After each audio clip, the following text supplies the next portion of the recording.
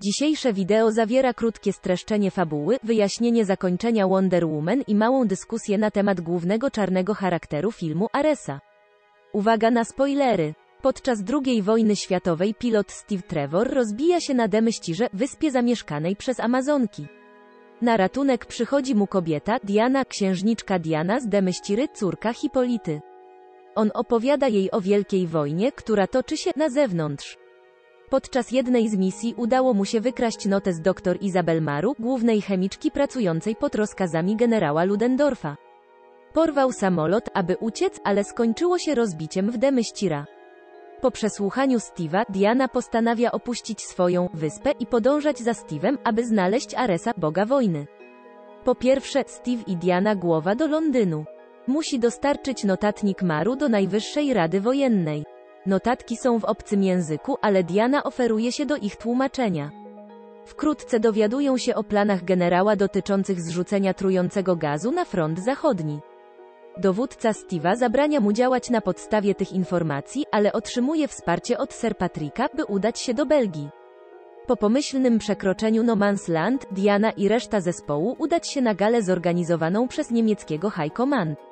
Steve i Diana infiltrować do partii. Generał zauważa Dianę, ale Steve zatrzymuje ją przed zabiciem go. Jednak ta decyzja pozwoliła generałowi spuścić gaz w Welt, co doprowadziło do śmierci jego mieszkańców. Wściekła Diana postanawia śledzić generała. Ona znajduje go w bazie, gdzie trujący gaz jest ładowany do samolotu zmierzającego do Londynu. Diana konfrontuje się z generałem, walczy z nim i zabija go. Jednak nie jest on tym, za kogo Diana go uważała Ares, ponieważ jego śmierć nie przerwała wojny. Po śmierci generała, Sir Patrick Morgan pojawia się i ujawnia się jako Ares. Mówi Dianie, że ludzie są z natury skorumpowani. Następnie Ares niszczy miecz Diany i mówi jej, że jest godkillerem. Pomimo jego wysiłków, Ares nie uda się przekonać Dianę do przyłączenia się do niego i zniszczyć ludzkość. Tymczasem Steve poświęca się porywając samolot, przenosi go na bezpieczną wysokość, a następnie detonuje go. Ares próbuje skierować wściekłość Diany na Maru, ale ona oszczędza ją.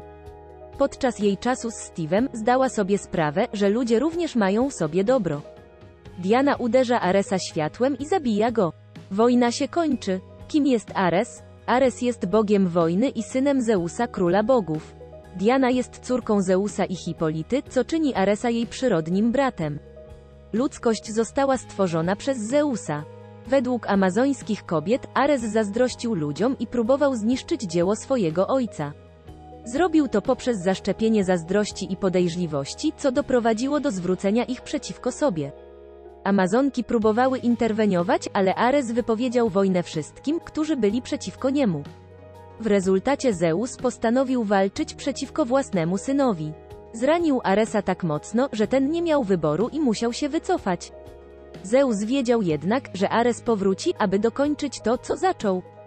Dlatego postanowił stworzyć Demyścirę, wyspę ukrytą przed resztą świata, aby chronić Amazonki przed Aresem. To jest strona historii Amazonek. Porozmawiajmy teraz o punkcie widzenia Aresa.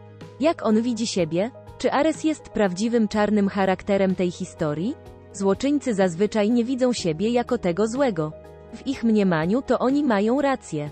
Reszta świata jest winna i musi ich dogonić. Filozofia Aresa na temat ludzi jest bardzo prosta, są z natury źli, skorumpowani i niegodni. Innymi słowy, ludzie są śmieciami. Według Aresa to nie on jest źródłem wszelkiego zła na świecie. Przyznaje się więc do podszeptywania ludziom nieczystych myśli, ale nie obarcza siebie odpowiedzialnością za ich czyny. W końcu to ludzie podejmują decyzje, a nie on. W ten sposób usprawiedliwia się ze swoich czynów. Ale najśmieszniejsze jest to, że on się nie myli. Jaka jest różnica między Dianą a Aresem? Diana uważa, że ludzie mają złe cechy. Jednak dostrzega w nich również dobro. Ludzie mają więc w sobie zarówno dobro, jak i zło. Taka jest definicja bycia człowiekiem. Ares jest trochę bardziej ekstremalny. On nie widzi piękna w niedoskonałości, dlatego uważa ludzkość za niegodną. CO sprawiło, że Wonder Woman jest tak dobra? Co mam do powiedzenia o Wonder Woman? Wow, wow i jeszcze raz wow. Muszę przyznać, miałam pewne zastrzeżenia, kiedy po raz pierwszy ogłoszono ten projekt. Po pierwsze, nie ma zbyt wielu filmów z kobiecymi superbohaterami. Dlatego trzymałam kciuki za to, żeby Wonder Woman była świetna. Po drugie, cały czas myślałam sobie, czy Wonder Woman postać jest naprawdę aż tak interesująca? Teraz po obejrzeniu filmu czuję się głupio, że w ogóle zadałam to pytanie. Patty Jenkins wykonała fenomenalną pracę, a Wonder Woman jest więcej niż interesująca. To już oficjalne. Jestem fanką Wonder Woman. W dzisiejszych czasach nie ma czegoś takiego jak niedobór filmów o superbohaterach. Wszystko w filmie jest wielkie i znaczy to, że takie ma być. Jednak to, że na produkcję filmu przeznacza się duże pieniądze, nie jest gwarancją, że będzie on sukcesem. Dlaczego więc Wonder Woman okazała się tak wielkim sukcesem kasowym? Moim zdaniem było to połączenie wielu rzeczy, takich jak historia, postacie, aktorzy i serce. Wszyscy kochają superbohaterów. Jest coś bardzo porywającego emocjonalnie, kiedy ci bohaterowie, superbohaterowie, są gotowi poświęcić się, aby uratować świat przed złymi facetami. Jednym z ważnych aspektów, który jest eksplorowany w filmie jest to, że zło nie jest czymś rzuconym na rasę ludzką. Każdy ma w sobie odrobinę zła i dobra. Moim zdaniem nadało to filmowi dodatkowej głębi. Jeśli chodzi o główną bohaterkę, Dianę, to w zasadzie żyła ona w bańce. Jest silna fizycznie i świetnie wyszkolona do walki.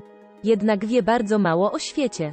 Z tego powodu może wydawać się bardzo jednowymiarową postacią, ale to powoli zmienia się w trakcie filmu.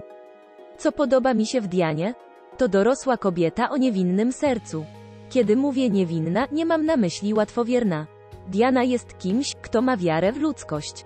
Ostatnie przemyślenia na temat Wonder Woman ten film ma serce. Nie chodzi tu tylko o wymyślny budżet i imponującą oprawę wizualną. Jak już wspomniałam, historia i bohaterowie są pełni emocji. Film nie tylko ładnie wygląda dla kamery, ale też porywa serca widzów. Ostatecznie uważam, że to właśnie ten element sprawił, że film został tak dobrze przyjęty przez widzów i krytyków.